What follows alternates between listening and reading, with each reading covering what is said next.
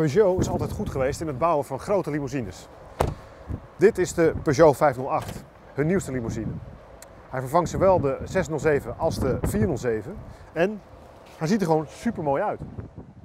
Deze auto moet concurrentie gaan bieden aan populaire leaseauto's zoals de Volkswagen Passat, de Ford Mondeo en de Opel Insignia. En wat daar zeker bij gaat helpen is dat Peugeot die grote bek van de 407 heeft losgelaten en daarvoor terug deze mooie grill heeft getekend. En voor het eerst staat ook de naam van Peugeot nu in de grill.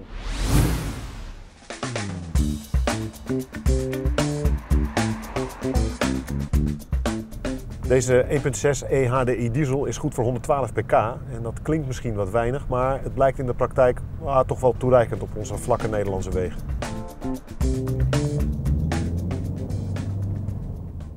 De schokken die je nu voelt bij het schakelen, dat komt doordat deze motor uitsluitend geleverd wordt met de zogenaamde Two-Tronic automaat. En dat is een gerobotiseerde handbak en die schakelt alles behalve verfijnd. Dan geef je steeds een hele vervelende duw in je rug.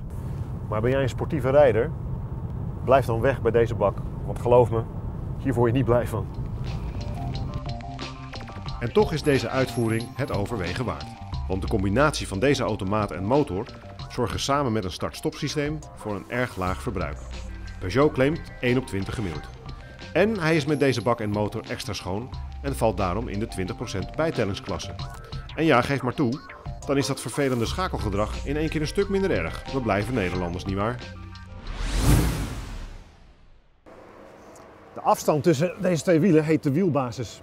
En die bepaalt hoeveel ruimte er hier binnenin is om te kunnen, lekker te kunnen zitten. Dat is 9 centimeter meer dan in de 407. En dat merk je vooral achterin. En die 9 centimeter, dat is dus een straatlengte. En dan is er nog wat anders. Ik kan deze bank platklappen en achterin die achterbak zit heel veel ruimte. 515 liter. Peugeot is goed in het bouwen van mooie dashboards.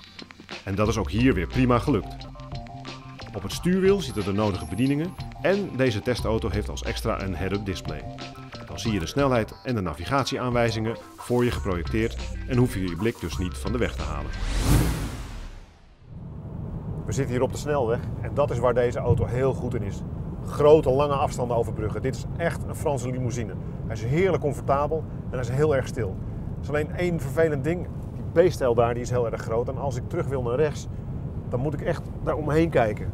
Er verdwijnt er echt een halve auto achter. Als je met deze auto echt een keer zou gaan, dan glijdt hij uiteindelijk eh, in bochten weg over zijn voorwielen. En als je dan nog verder gaat, dan grijpt de ESP in. En dat is eigenlijk allebei heel veilig eh, weggedrag. Niet waar, Fred? Ja, je hebt uh, bijna altijd gelijk, maar er is een moment waarop ook het ESP niet meer helpt. Dat is als je een tik van achteren krijgt. En hoe dat eruit ziet gaan we nu proberen op het ANWB Test- en Trainingscentrum in Lelystad.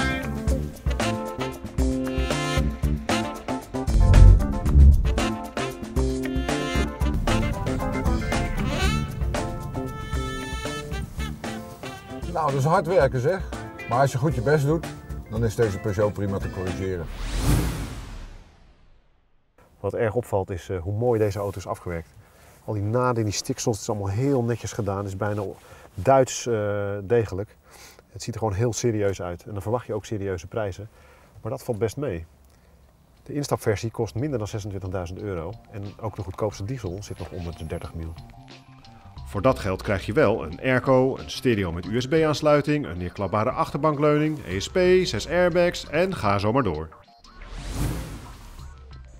Ja, en dan de eindconclusie. Het mag duidelijk zijn. Dit is gewoon een hele fijne, grote reislimousine. Een echte Peugeot. Hij is comfortabel, hij is stil, hij is ruim. Er is eigenlijk maar één ding dat roet in het eten gooit. En dat is die versnellingsbak. Dat is eigenlijk heel erg jammer. Maar voor de rest, très bien, monsieur Peugeot.